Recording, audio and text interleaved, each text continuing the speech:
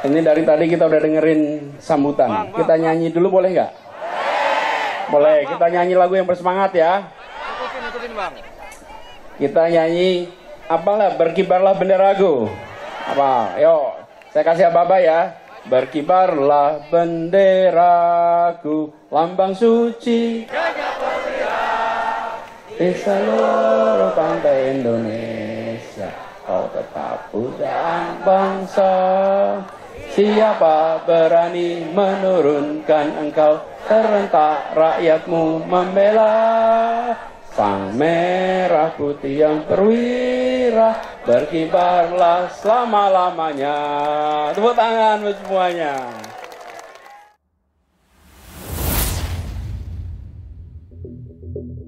Wajah ex-gubernur DKI Jakarta Anies Baswedan kini mulai berubah. Perubahan itu sangat tampak dalam beberapa bulan terakhir, di mana ia gencar menggalang dukungan dan simpati publik. Lewat safari politiknya, calon presiden yang bakal diusung Nasdem itu bahkan kerap mengunjungi gereja, baik itu gereja Katolik maupun Protestan. Momen silaturahmi tersebut terekam dalam unggahan akun media sosial Instagram milik Anies. Dalam unggahan pertama, Anies mengunggah momen di saat berpamitan ke Persatuan Gereja-Gereja di Indonesia, PGI Wilayah DKI Jakarta. Dalam caption unggahan tersebut, Anies turut mengenang saat bekerja bersama dengan umat Kristen di Jakarta selama lima tahun mengabdi. Dalam unggahan selanjutnya, Anies mengabadikan momen saat ia bertandang ke Keuskupan Agung DKI Jakarta dan bertemu dengan Uskup Agung Jakarta Kardinal Ignatius Suharyo. Dalam kesempatan itu, Anies mengaku mendengar lebih dalam kisah gereja katedral dalam perjalanan sejarah umat Katolik di Indonesia. Ia pun menyampaikan rasa syukur atas kerjasama yang dilakukan pemerintah Gubernur DKI Jakarta dengan Keuskupan Agung DKI Jakarta dalam menghadirkan rasa keadilan, kekeluargaan, kebersamaan, dan kesatuan warga kota Jakarta. Terakhir, Anies mengunggah momen kebersamaan saat bersilaturahmi ke Persekutuan Gereja-Gereja Pentakosta Indonesia. Dalam unggahan ini, Anies menekankan akan pentingnya twine tolerance atau toleransi dua arah. Sayangnya, safari politik Anies ke gereja-gereja ini justru terasa aneh dan janggal. Pasalnya, kita tahu dan tentu masih terekam jelas dalam ingatan kita bagaimana intrik Anies memenangkan Pilgub DKI tahun 2017 lalu.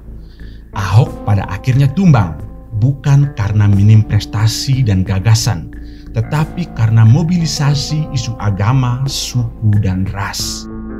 Isu SARA yang gencar dimainkan kubu Anies tidak hanya merusak tatanan demokrasi, tetapi yang paling fatal adalah tatanan sosial kemasyarakatan.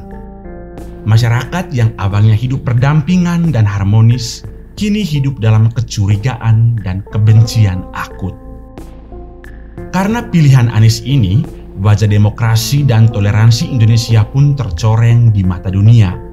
Harian New York Times melansir bahwa Indonesia yang dikenal mampu menjaga toleransi dan pluralisme antar kelompok beragama sedang mengalami kemunduran. Aksi bela Islam 411 dan 212 yang menuntut Ahok di penjara atas tuduhan penghinaan agama dilihat sebagai upaya politisasi agama untuk memenangkan Anies Baswedan.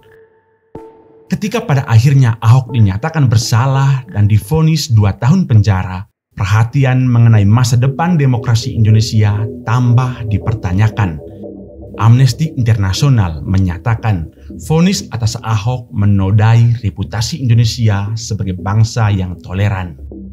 Mulai sejak itulah, perseteruan keras dalam politik Indonesia terus diwarnai kebencian antar kelompok agama, bahkan menjalar hingga ke pemilihan presiden tahun 2019, bahkan mungkin tahun 2024 nanti. Wajah Anies kini berubah Kebinekaan adalah karunia Tuhan. Kebinekaan adalah ciptaan Tuhan. tapi persatuan adalah usaha manusia. Persatuan adalah usaha kita. Karena itu kami sering garis bawahi ada kalimat penting bertuliskan Bhinneka Tunggal Ika. Namun akhir-akhir ini, wajah Anies seperti mulai bermetamorfosis dari yang sebelumnya beraura agama kini menjadi nasionalis. Dandanan wajah politik Anies mulai tampak berubah lewat safari politiknya ke berbagai gereja. Ia bahkan tak malu berbicara toleransi, padahal dulu ia seakan membiarkan kelompok intoleran menginjak-injak nilai keharmonisan bangsa. Sayangnya lagi, sampai saat ini belum sekali keluar kata maaf dari mulut Anies atas bencana politik yang membantunya naik tahta DKI 1 Anies sepertinya merasa cukup dengan bersolek dan berdandan dengan wajah nasionalis saja, maka ingatan luka di masa lalunya bisa terhapuskan. Lalu apa sebenarnya yang memotivasi Anies untuk mengubah wajah politiknya? Anies sesungguhnya tahu betul bahwa memainkan isu SARA di Pilpres 2024 malah menjadi bumerang bagi kubunya. Dinamika politik DKI beberapa waktu lalu sudah tidak relevan dengan situasi saat ini.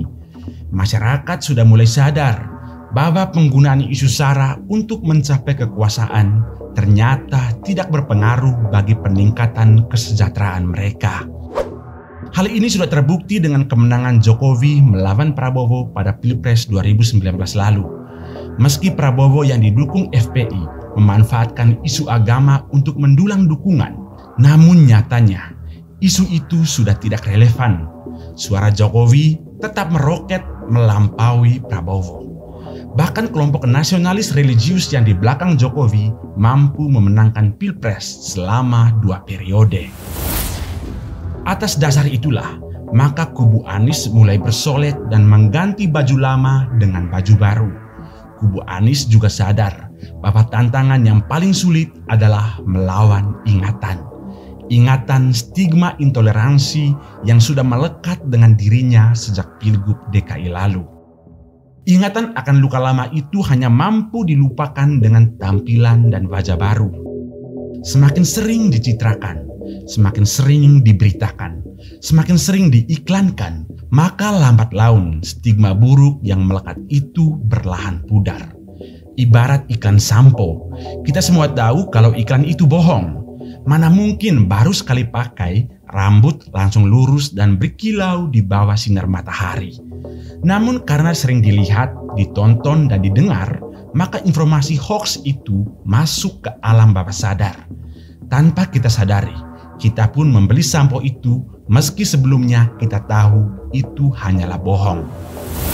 Drama di panggung politik tentu segera dimulai Pilpres 2024 makin dinamis bahkan memanas. Penonton sebaiknya mulai mengencangkan sabuk pengaman akal sehat agar tidak mudah terprovokasi.